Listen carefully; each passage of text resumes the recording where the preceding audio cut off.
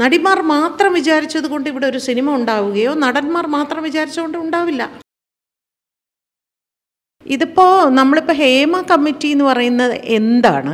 ഹേമ കമ്മിറ്റിയോട് സർക്കാർ ആവശ്യപ്പെട്ടത് സിനിമ മേഖലയിൽ സ്ത്രീകൾ നേരിടുന്ന പലവിധ പ്രശ്നങ്ങൾ. അത് പിന്നെ എന്തുമായിക്കോട്ടെ ഭക്ഷണത്തിന്റെ ആണെങ്കിലും ലൈംഗിക ചൂഷണമാണെങ്കിലും അവരുടെ യാത്ര പിന്നെ സൗകര്യമില്ലായ്മ താമസ സൗകര്യമില്ലായ്മ ഇങ്ങനെ പിന്നെ അതുപോലെ അവരുടെ ആരോഗ്യ സുരക്ഷയ്ക്കായിട്ട് ഈ സംഘടനകൾ എന്ത് ചെയ്യുന്നു?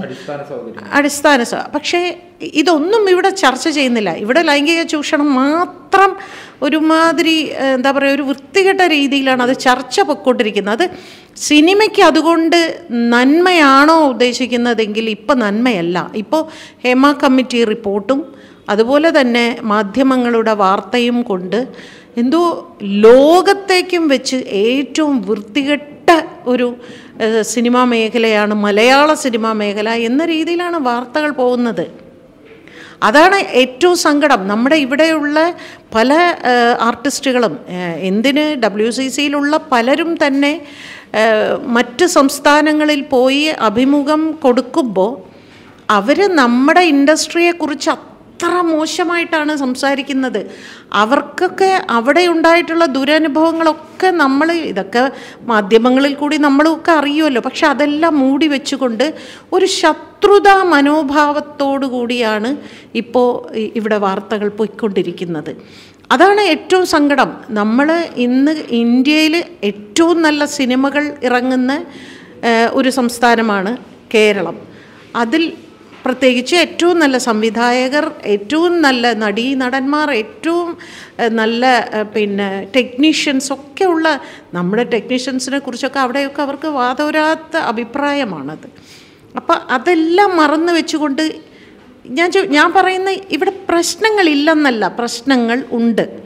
എല്ലായിടത്തും ഉണ്ട് ഇവിടെയുണ്ട്. പക്ഷേ എല്ലായിടത്തും ഉണ്ട് അതുകൊണ്ട് നമ്മൾ മിണ്ടാതിരിക്കണം എന്നല്ല അതിന്റെ അർത്ഥം.